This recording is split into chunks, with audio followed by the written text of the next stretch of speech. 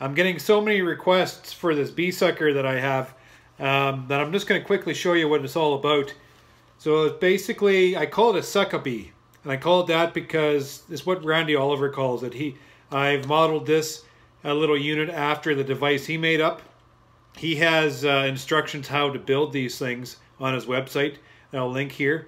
Um, but basically all it is is a uh, like a dust vac. Um, this particular unit has a little nozzle on it. So this helps suck the bees out of the hive entrance and off the cluster uh, real easy. Um, inside the uh, dust canister I filled up with putty, um, which helps uh, restrict the flow and drop all the contents down through into my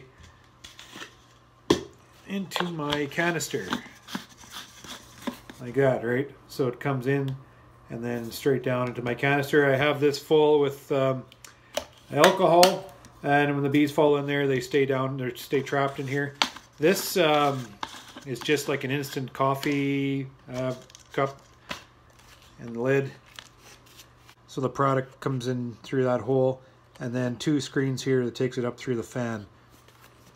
Very easy to make. Uh, this thing cost me like $35 or whatever. And it just helps me take a real quick and accurate sample. So uh, as you can see, there's a little bit of wear and tear on this device because I use it all the time through the year.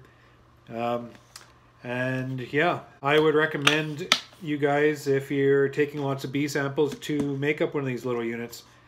Um, it is very user friendly and practical. And then you just shake your samples.